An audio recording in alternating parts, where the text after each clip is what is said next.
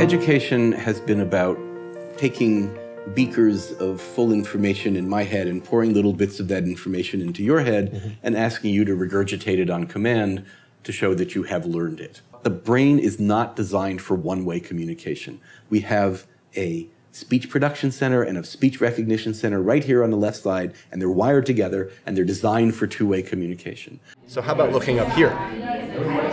So if you look near the North Pole, you can see it, it continuously. Always and they're designed for communication where I can see your eyes and your reactions, and I can be in a socialized environment with an interaction with you that's going to be productive.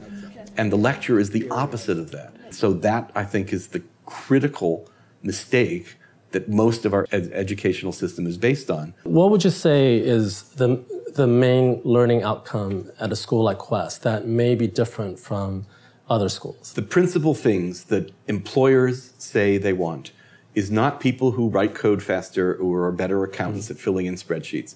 They want people who can write and speak effectively and persuasively. They critically want people who can collaborate across departmental boundaries, and I'm talking about in a firm now, department, to solve problems for the company.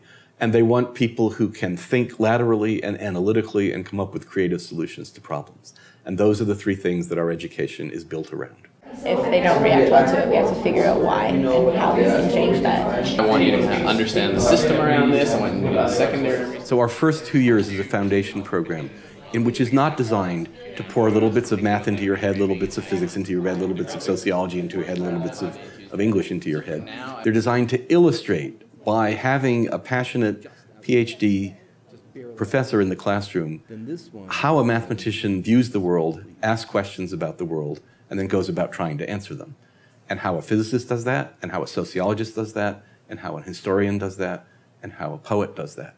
Because they're very different perspectives on the world. Our goal at the undergraduate level is to have every student with the same degree, a Bachelor of Arts and Sciences degree, that has been exposed to these different habits of mind and learned how to focus them on a single interdisciplinary question that's of interest and value to them personally, which inevitably more closely mirrors questions that people have to deal with in the real world outside of academia. Doing away with traditional degrees and letting students create their own questions. Uh, what have you learned from the type of questions they come up with? Well, we do have a cadre of students who instinct is to save the world. And a lot of what our education is about is teaching them that that's not a very useful goal to have. It's useful to be able to find problems, that is, to frame questions, and then think about how you can make progress on that question. The questions tend to be interdisciplinary, but some of them are very broad and some of them are very focused.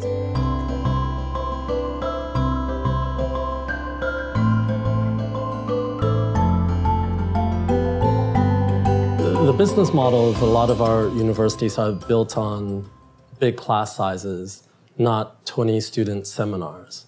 Um, how realistic is it for other schools, you think, to adopt some of the approaches that you have here?